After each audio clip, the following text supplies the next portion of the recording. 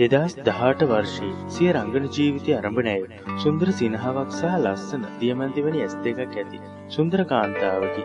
දඩක් සිනමාපටය හරහා සිනමාවට පිවිසන ඇය ජාන්වී කපූර් නම් වේ. ඉතස් නම්සි අනූ හතේ මාර්තු හයවන දෙන ඉපදෙන ඇය ශීදේවි සහ ගොනි කපූර්ගේ දියනියද වේ. ඇයට එක් සහෝදරියක් සහ සහෝදරයන්ද දෙදෙනෙකු සිටින අතර ඇය ප්‍රථමයෙන් රඟපෑ.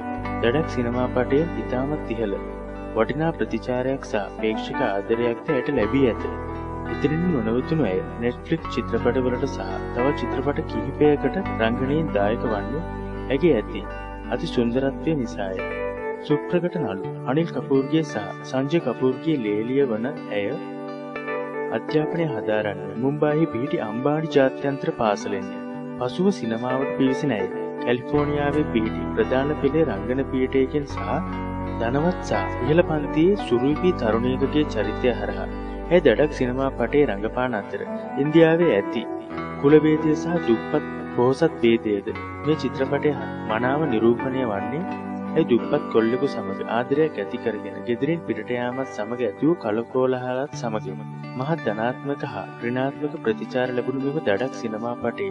කෙසේ වෙතත් ලෝපුරා ජනප්‍රියත්වයට පත්වන්නේ මිලියන ගණනක ආදායමක් ලැබීමත් සමග දුන්නු නොවතුන ඇය ඇයගේ සිනමා ගමන් මගේ තවත් සිනමාපට රාශ්‍යයක් රූගත කිරීම මේ වනට කර අවසන්නේ. ඒවා ඉදිරියේදී තිරගතවීමටද නියමිතය.